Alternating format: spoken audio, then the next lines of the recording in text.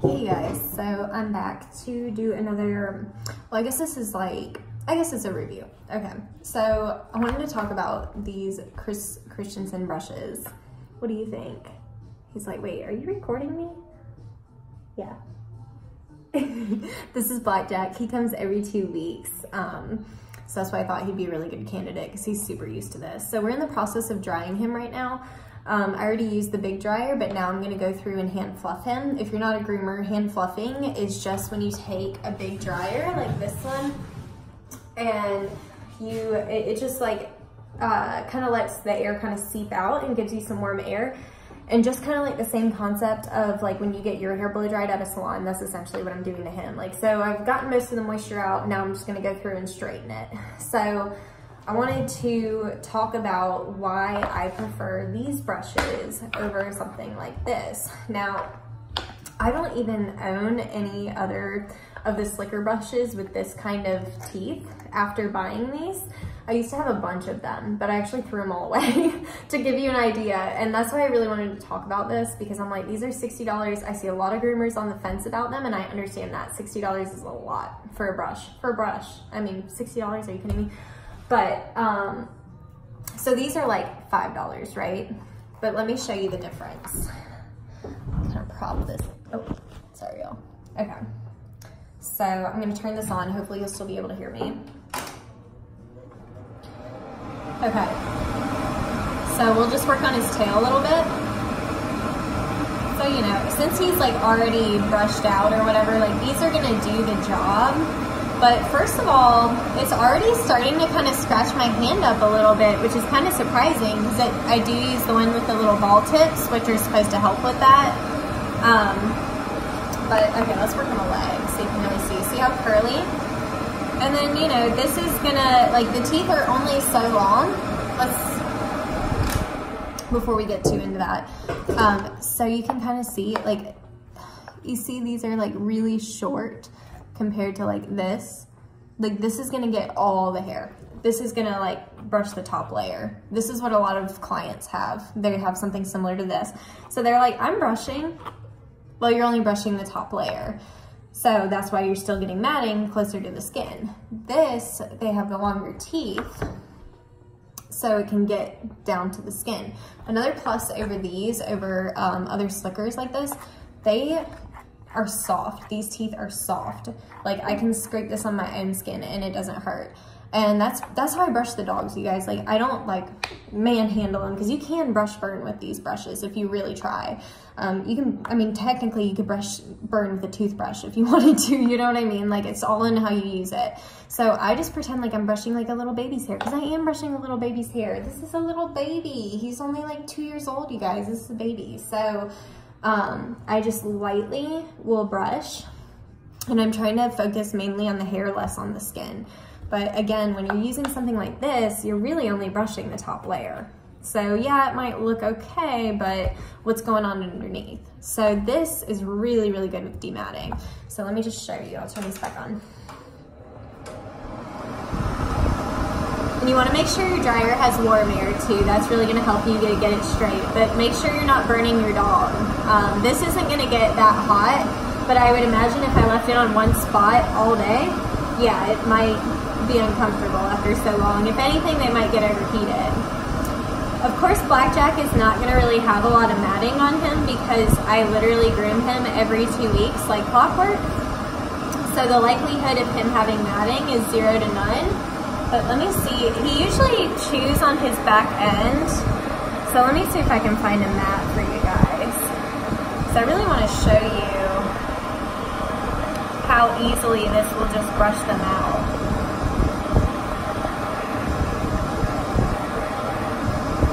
So I don't know if you can tell, there are a couple little mats right here.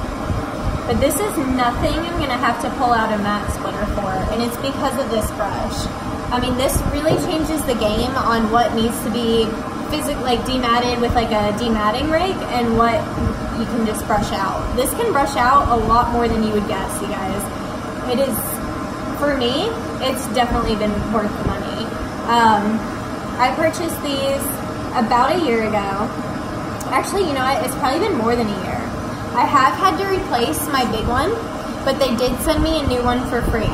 So, you know, keep that in mind. Um, if you've if you've been paying attention to these brushes, you've probably seen a lot of times the handle will separate from the actual brush. That's what happened to mine. I actually glued it back, so now I have two. And they sent me this one free. No questions asked, you guys. It was great. Um, but yeah, I mean, it really changes the game. Like, you know, and I'll use this, say, um, okay, say that, you know, I'm combing and there's like a tangle that, you know, my comb won't go through. I just whip out this, sit there and brush on it for a second, then usually I can comb no problem. I'll show you guys. It's my new fancy schmancy finishing comb by Chris Christensen. So you can see, he just brushes right out. And he'll brush out even better after I actually go through all of this, but um, because I just started drying him, I literally just did his head and now I've got to um, dry the rest of his body. But I just really wanted to show you, like, there's just, it, to me, this is worth the money. Um, I do, Chris Christensen, if you ever watch this video, what is going on, you guys? Um, there, there's just uh, so many people I am seeing that are having this break. And mine broke too. And I'm pretty gentle with my brushes, you guys. And mine actually broke on my own dog. I was grooming my own dog and my brush broke. It separated and um, actually my stepdad fin uh, fixed it right before he died. So now I have a special brush. Um, but yeah, I really wanted to show you the difference because like I said, these a lot of times are gonna be what your clients have. They're only gonna brush the outside layer, you guys. They're not, their teeth are not as long as my dog's hair right now. he probably has a good like, at least a good inch of hair has to be. So using something like this is so much better. Um, if you can, try it out if you know another groomer. And I've actually, um, if you have these brushes, you guys, try to share them with your groomer friends that haven't tried them because I actually um, let my friend borrow my extra one and she fell in love. She had to buy one. She, I mean, it's life-changing. You will not want to use another brush. Like I said, I threw all my other brushes away when I got these. Um, they are really just great. I really, I really wish he had a mat on him. Okay, you kind of see like his tail right here just from where he wags it and he always chews on his butt. Um, so it, it gets a little matted right here. Let's see if I can show you. I wonder if I can, there we go. Change the lighting a little bit. All right, ready? Small one. Make sure your warm air is on. And using the right products is gonna make a world of difference too. While I'm at it,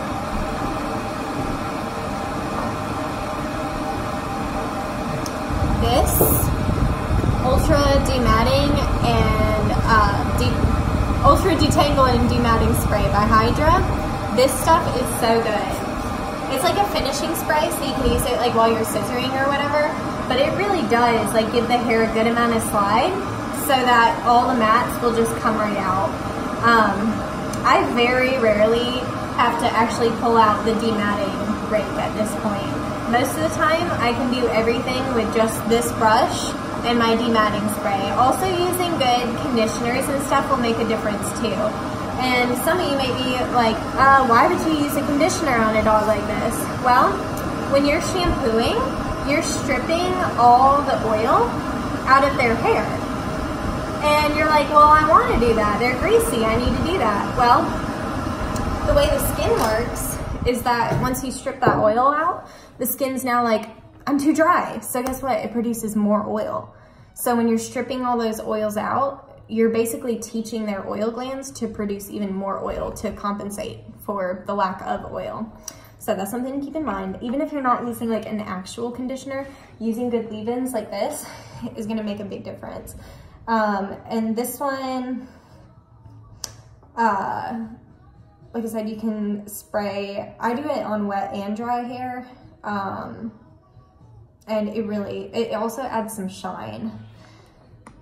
There's, this is one, it doesn't really have like any actual like oils or like it's kind of one of those like that if you read it it's just got all the big words and you're like what does that mean yeah we'll go into that one day um i'm trying to see what I, what is even oh i wonder if the there's like there's a couple different things in here. I wonder, I need to actually look into these ingredients and see what actually it is. I'm so surprised. They don't use a ton of oils or anything in their stuff.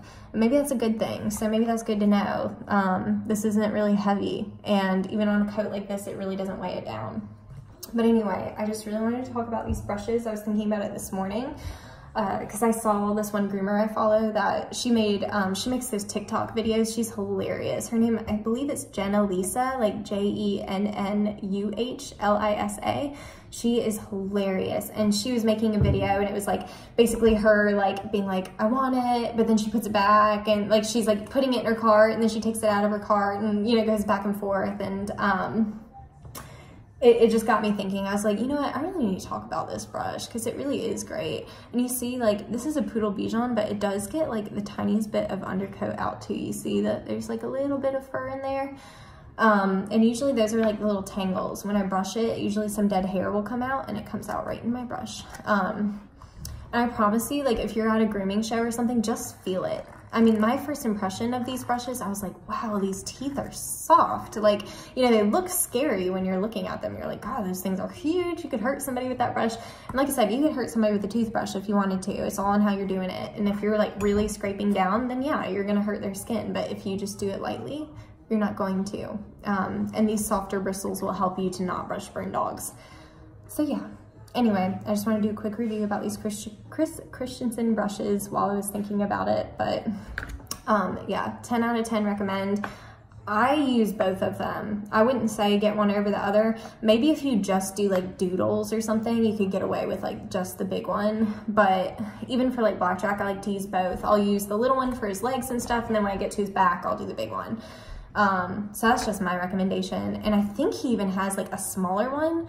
I kind of want it. I might have to look into that. Um, but yeah, 10 out of 10 recommend. I think it's worth the $60. Might even be worth if you're kind of on the fence, like reaching out to Chris Christensen and asking them and being like, hey, if I really hate these brushes, do I have a return period or am I stuck with it? And if that's the case, if you are gonna be stuck with it, like I said, reach out to other groomers in your area that might have one that might let you borrow it and just use it for a day or two.